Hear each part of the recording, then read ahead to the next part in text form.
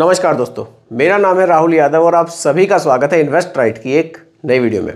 दोस्तों, आशा करता हूँ कि आप सभी लोग कुशल मंगल होंगे और अपनी इन्वेस्टमेंट जर्नी को अच्छे से चला रहे होंगे। इस इन्वेस्टमेंट जर्नी में किसी तरह की हेल्प अगर आपको लगता है कि आप मुझसे ले सकते हैं, कोई आपको जानकारी किसी तरह की लेनी हो तो बिल्कुल बेझिझक आप लोग मुझे कमेंट कर सकते हैं रिप्लाई में आप लोगों को ज़रूर करूँगा। चलिए दोस्तों, आज की वीडियो की बात कर लेते हैं, आज की वीडियो का टॉपिक देख लेते हैं क्या है। दोस्तों, आज की वीडियो का जो टॉपिक है वो टॉपिक होने वाला है। कमेंट मुझे किया है बलदेव सिंह पवार जी ने। ये एस के दो फंड्स में इन्वेस्ट करना चाहते हैं। कि इन्वेस्ट करना चाहते हैं एस मिड कैप में और S B large and mid cap या फिर S B Magnum mid cap इन दोनों फंड्स में से किसमें इसको इन्वेस्ट करना चाहिए या फिर ये दोनों फंड्स में इन्वेस्ट कर सकते हैं? इस टॉपिक पर आज की वीडियो में हम लोग चर्चा करेंगे। देखिए मेनली टॉपिक वीडियो का ये होने वाला है कि एसबीआई के दो फंड्स हमें देखने को मिलते हैं। एक large and mid cap category का और एक SBI Magnum mid cap fund तो दोनों फंड्स में बेसिकली क्या डिफरेंस हमें देखने को मिलेगा? दोनों में से किस फंड में हमें इन्वेस्ट करना चाहिए? कौन सा हमारे लिए ज़्यादा फ़ायदेमंद साबित हो सकता है इस टॉपिक पर हम लोग डिटेल में आज की वीडियो में समझेंगे। तो आप सभी लोग वीडियो को बहुत ही ध्यान से देखेगा क्योंकि यहाँ की एक चीज़ मैं आप सभी को समझाऊँगा बिल्कुल सिंपल भाषा में। सबसे पहले तो पवार जी का बहुत बहुत स्वागत है हमारे यूट्यूब चैनल पर। मैं सभी व्यूवर्स की तरफ़ से आपका स्वागत करता हूँ। चलिए बात करते हैं आपके टॉपिक पर। टॉपिक आपका बहुत बढ़िया है, क्योंकि ये इस तरह का टॉपिक है, इन फंड्स में मुझे लगता है कि काफ़ी लोगों को कन्फ्यूज़न होता होगा, क्योंकि देखिए दोनों में ही मिड कैप आ रहा है। एक लार्ज एंड मिड कैप है, एक मिड कैप है। कौन सा फंड हमारे लिए ज़्यादा फ़ायदेमंद हो सकता है? आइए स्टार्ट करते हैं। देखिए एसबीआई के ही दोनों ये फंड्स हैं। एसबीआई एक ए कंपनी है असेट्स मैनेजमेंट कंपनी जिसको बोलते हैं। उसके अंदर फिर काफ़ी सारी स्कीम्स आपको देखने को मिल जाती हैं। उन्हीं स्कीम्स में से एक आ जाएगी SBI large and mid cap S B I large and mid cap और एक फंड हमारा आ जाएगा S B I Magnum. S B I Magnum mid cap दो फंड्स आपको देखने को यहाँ मिलते हैं। काफ़ी सारी स्कीम्स और भी देखने को मिलती है। मेनली इन दोनों के बारे में आज की वीडियो में बात करेंगे। वर्सेस लगा देते हैं कि दोनों में से कौन सा आपके लिए ज़्यादा प्रॉफिटेबल हो सकता है। देखिए, दोनों का बेसिक समझेंगे।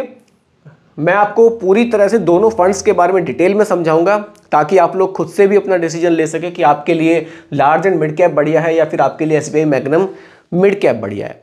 कोशिश मेरी है कि टॉपिक आपको क्लियर हो, सभी फंड्स की बेसिक जानकारी आपको हो, ताकि आप डिसीज़न खुद से ले पाएँ। कुछ लोग कमेंट भी देखिए कर रहे हैं कि सर हम लोग डायरेक्ट इन्वेस्टमेंट करें या फिर रेगुलर इन्वेस्टमेंट करें। देखिए उसके बारे में काफ़ी बार मैं वैसे वीडियोस में आप लोगों को क्लियर कर चुका हूँ।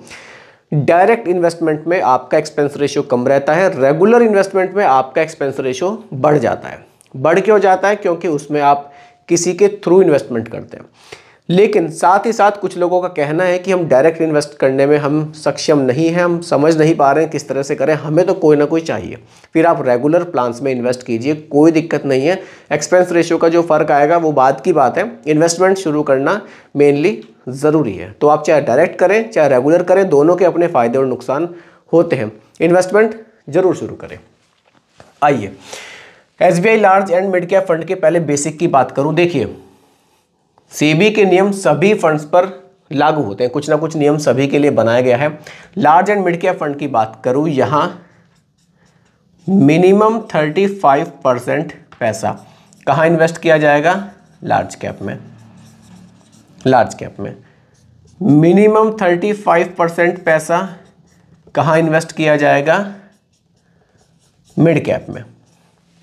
एक चीज़ और आपको और डिटेल में समझाता हूँ। देखिए, जब हम म्यूचुअल फंड में इन्वेस्ट करते हैं तो मेनली तीन जगह हमारा पैसा डाइवर्सिफाई किया जाता है। कौन सी वो तीन जगह है, वो भी समझिए। लार्ज कैप मिड कैप और स्मॉल कैप इन तीन जगह आपका पैसा, जो पैसा आप इन्वेस्ट करेंगे डाइवर्सिफाई किया जाएगा। अब लार्ज कैप कंपनीज़ ये तीन आप कंपनीज़ मान लीजिए large cap mid cap small cap large cap के अंतर्गत इंडिया की टॉप हंड्रेड कंपनीज़ आएँगी। मिड कैप के अंदर वन ज़ीरो वन से लेकर टू फिफ्टी रैंक तक की कंपनी आएगी और स्मॉल कैप में टू फिफ्टी वन से लेकर फाइव हंड्रेड रैंक तक की कंपनीज़ आएँगी। तो टोटल 500 कंपनी में हमारे पैसे को डाइवर्सिफाई किया जाना है। अब उन 500 में से लार्ज कैप मिड कैप और स्मॉल कैप तीन जगह किस किस तरह से डाइवर्सिफिकेशन होना है, हर एक फंड में ये अलग तरीके से किया जाता है। इसी के हिसाब से आपके रिटर्न्स बनते हैं, इसी के हिसाब से आपका रिस्क तय होता है कि आप कितना रिस्क ले सकते हैं। जितनी बड़ी कंपनी उतना कम रिस्क जितनी छोटी कंपनी उतना ज़्यादा रिस्क ये एक बेसिक चीज़ आप समझ लीजिए। अब देखिए large and mid cap fund की बात करूँ मिनिमम 35 परसेंट पैसा इंडिया की टॉप 100 कंपनीज़ में जा रहा है। मिनिमम 35 परसेंट पैसा 101 से लेकर 250 रैंक तक की कंपनीज़ में जा रहा है। ये हो जाता है हमारा एसबीआई का large and mid cap fund बाकी का जो रेस्ट बचता है, वो चाहे लार्ज में एलोकेशन बढ़ जाए, चाहे मिड में बढ़ जाए, चाहे फंड मैनेजर इसको स्मॉल में बढ़ा ले, ये फंड मैनेजर के ऊपर डिपेंड करेगा। अब आ जाते हैं S Magnum mid cap fund की तरफ़। देखिए, ये मिड कैप कैटेगरी का फंड है। यहाँ मिनिमम 65 परसेंट पैसा कहाँ जाएगा? मिड कैप में। मिड कैप कंपनीज़ के स्टॉक्स में। यानी कि किन स्टॉक्स में? 101 से लेकर 250 रैंक तक की कंपनीज़ के स्टॉक में। अब आप देखिए, यहाँ ज़रूरी नहीं है कि लार्ज कैप का एलोकेशन कितना रहे। पैंसठ परसेंट पैसा ही आपका इन कंपनीज़ में चला गया। और यहाँ कितना गया था? मिनिमम 35 परसेंट पैसा। यहाँ लार्ज कैप को भी ऐड किया गया था। यहाँ बाकी देखेंगे डिटेल में जाके लार्ज और स्मॉल को कितना ऐड किया गया है। तो ये एक बेसिक डिफरेंस आपको दोनों में देखने को मिलेगा। थोड़ा सा और डिटेल में जानने के लिए दोनों फंड्स पर चलते हैं और देखते हैं कि फंड मैनेजर ने पैसे को डाइवर्सिफाई किस तरह से किया है। और दोनों के रिटर्न्स भी देखेंगे कि रिटर्न्स में हमें दोनों में क्या फ़र्क देखने को मिलता है। चलिए, पहले आ जाते हैं मिड कैप पर। मिड कैप की मैं बात करूँ S B I Magnum mid cap fund की। देखिए, दोनों फंड्स अपनी जगह काफ़ी बढ़िया है। फंड की परफॉर्मेंस दोनों की ही वाकई बहुत ज़बरदस्त रही है।